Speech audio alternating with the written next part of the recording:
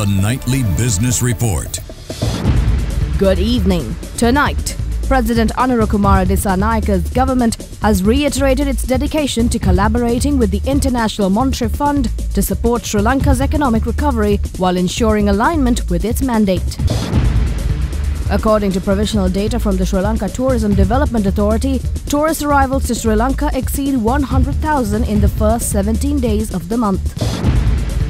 On the second trading day of the week, the market continued its downward trend, extending the negative momentum from earlier in the week. Both the S&P SL20 and the ASPI ended slightly lower.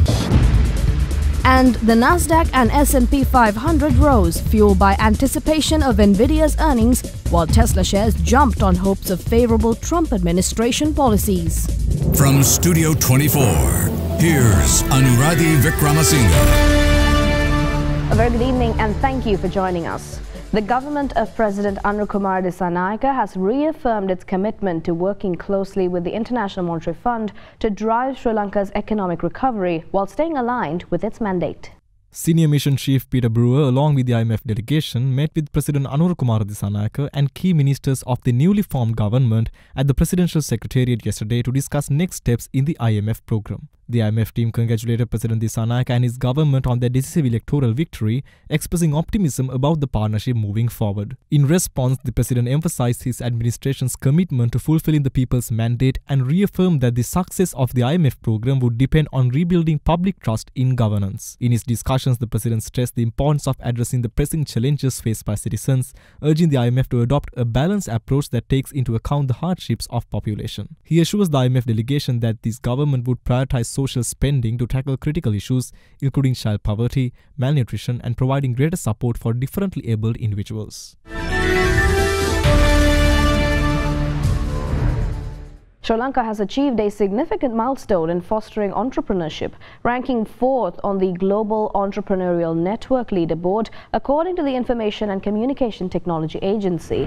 This marks a notable improvement, with the country climbing three positions from seventh place last year. ICTA Associate Chief Digital Economy Officer Sachindra Samararatna attributed the progress to the growing supportive ecosystem for entrepreneurships, particularly at the early stages of their journey. He shared this update during the official launch of Global Entrepreneurship Week 2024 held at the Ceylon Chamber of Commerce in Colombo yesterday.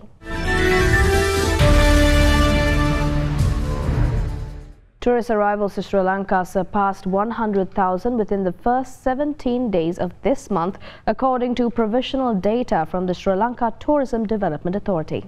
Sri Lanka welcomed a total of 103,315 international visitors from November 1st to 17th, marking a 21% increase compared to the same period last year. The daily average of arrivals during this period reached 6,077, up from 5,005 a year ago and 4,189 just a month earlier. This steady growth in tourist numbers follows a strong performance in October, when arrivals surged by 24.95% year on year to 135,907, rebounding from a slowdown in September which had seen growth dip to single digits from first time this year. Despite ongoing travel advisories, the situation has improved with several countries, including the United States and Israel, lifting their travel warnings related to potential terrorist threats in the popular surfing destination Arugam Bay. If the current trend continues, Sri Lanka is on track to welcome approximately 182,310 tourists by the end of this month, coming close to Sri Lanka Tourism Development Authority's conservative projection of 182,693 arrivals for the month. In an optimistic scenario, the SLTD anticipates a total of 198,069 tourists for this month. Sri Lanka's tea production for October of this year decreased to 21.15 million kilograms, an 8% decline compared to 23 million kilograms produced in the same month last year. According to industry data released yesterday, the decline was observed across all elevations when compared to October 2023. However, in comparison to October 2022, tea production saw a notable 11% increase, rising by 2.16 million kilograms from 8 18.99 million kilograms cumulatively. Tea production from January to, to October of this year reached 217.65 million kilograms, reflecting a modest 0.5% increase over the 216.49 million kilograms produced during the same period in 2023.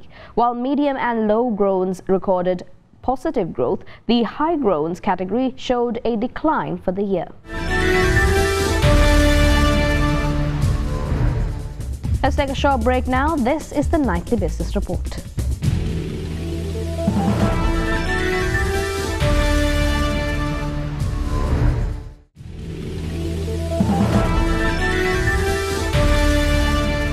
Welcome back to the Nightly Business Report. On the second trading day of the week, the market experienced a downward movement, continuing the negative momentum from earlier in the week. The S&P SL20 closed marginally lower and the ASPI also reflected a net decline. To provide further insights, we connect with Anjali Matthews from First Capital Holdings. Today, the Colombo Stock Exchange experienced a slight downturn compared to the upward momentum experienced during the previous sessions. The all share price index closed at 13,105, losing 126 points and marking a 0.95% decrease from the previous day.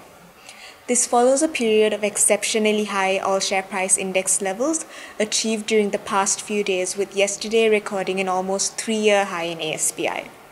The top contributors towards the negative index were John Keells Holdings, Hatton National Bank, Sampath Bank, Commercial Bank and the National Development Bank.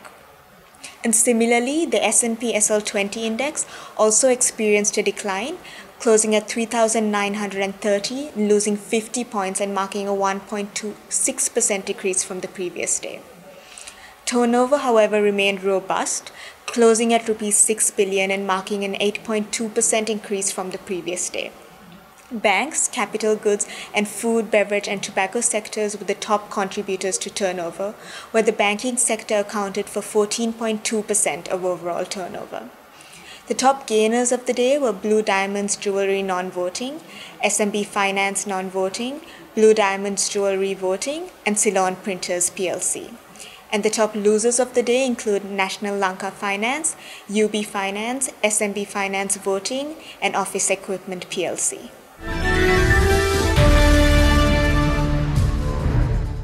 The Colombo Stock Exchange has shown negative momentum early in the week, reflecting a downward trend. This highlights the resilience of the Sri Lankan market amidst ongoing global economic fluctuations. But to offer further insights, we spoke with Ranjan Ranatunga from First Capital Holdings.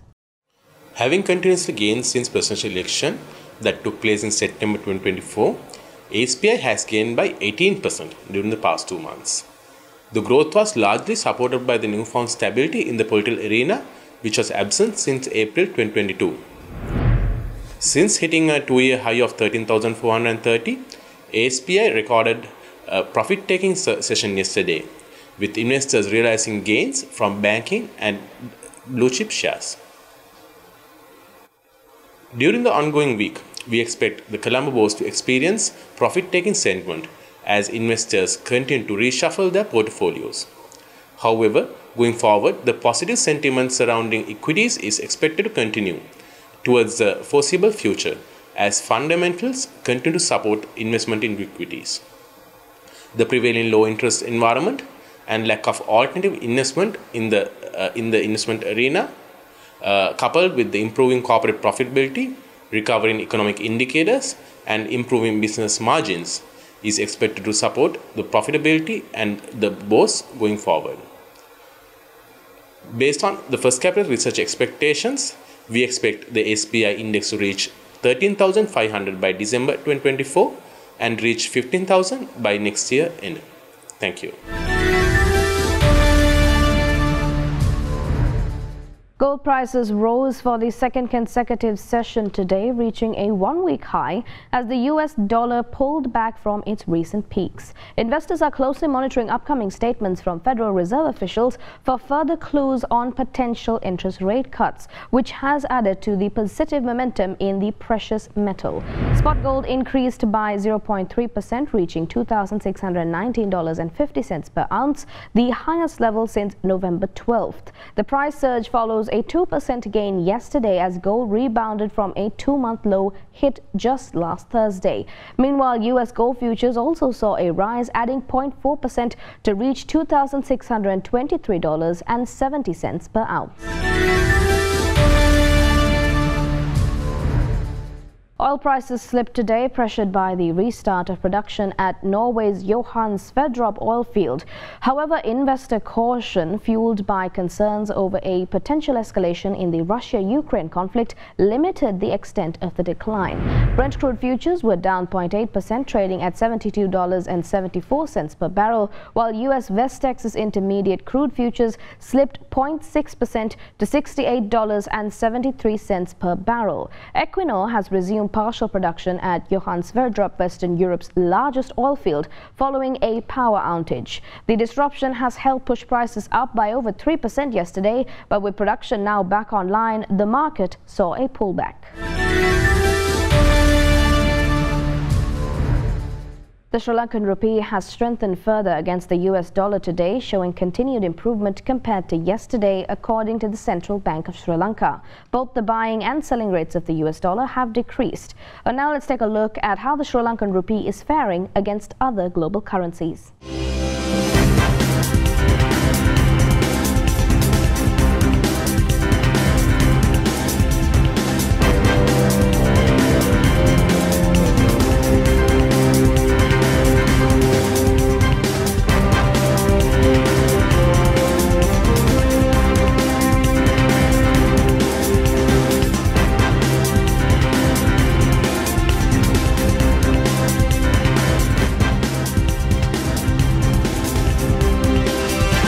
Short break now. This is the Nightly Business Report.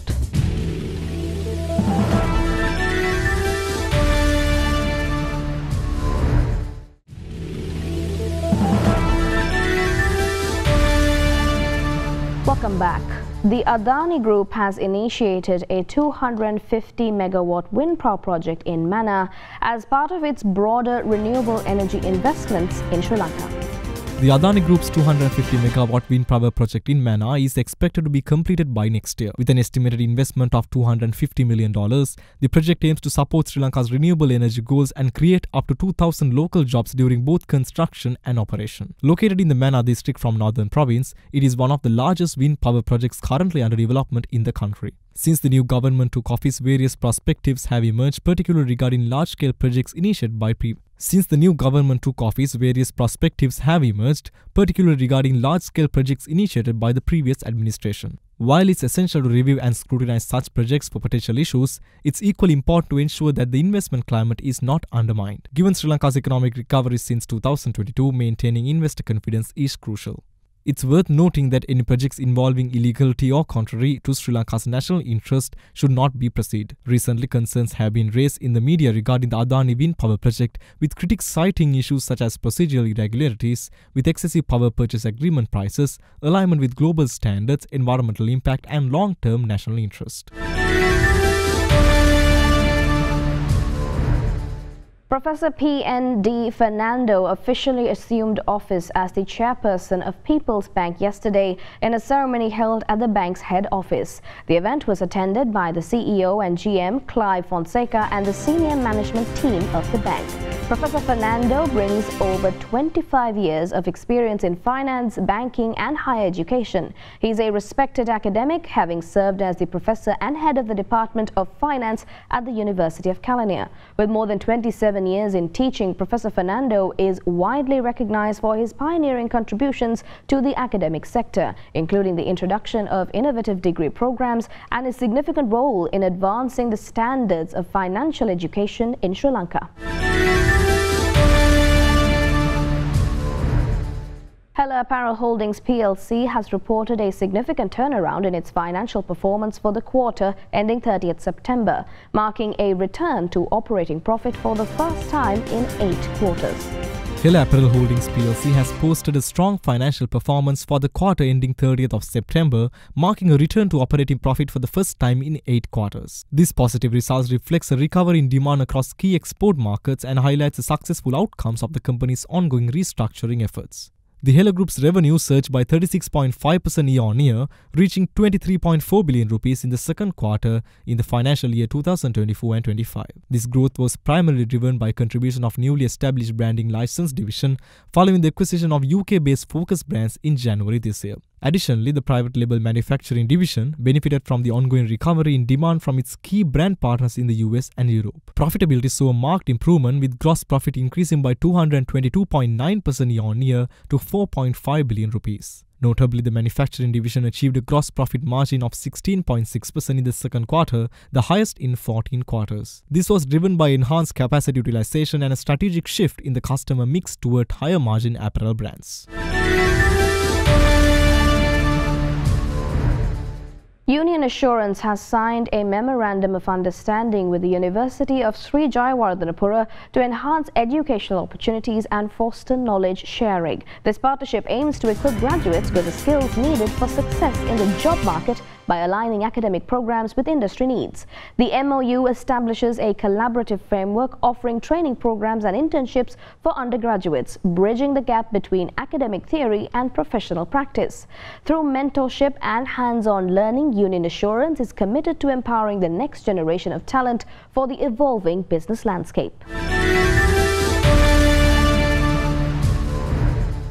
Associated Motorways Limited is celebrating a decade of successful partnership with New Holland Tractors as its exclusive distributor in Sri Lanka. Since the inception of their partnership, AMW has remained steadfast in its commitment to supporting Sri Lanka's agricultural sector by providing reliable equipment and unmatched service to the farmers across the country. To celebrate this decade-long celebration and in recognition of the ongoing Maha season, AMW organized a series of complimentary inceptions for loyal customers nationwide. Throughout last month, AMW's expert service teams visited key agricultural hubs including Mullaitivu, Horowpothana, Batticaloa and Sammanthurai to carry out these free inspections. The goal of the campaign was to ensure that New Holland tractors were in peak condition ahead of the crucial planting season. With over 100 inspections completed, the initiative highlighted AMW's unwavering dedication to supporting local farmers, helping them maintain their equipment and ultimately safeguarding their livelihoods during this vital time of the year. Let's take a short commercial break now. Global business updates coming on the other side. This is the Nightly Business Report.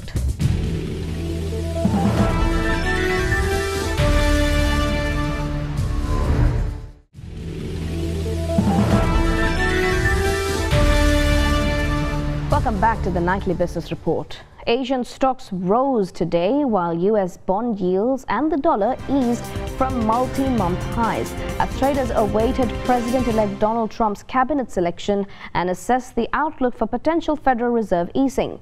Tech stocks gained following Wall Street's recovery from last week's sharp losses, although Nvidia's upcoming earnings report tomorrow limited significant moves. Markets also reduced their expectations for a quarter-point interest rate cut at the Fed's December meeting, with the profitability dropping to just under 59%, down from nearly 62% the previous day, according to CME FedWatch.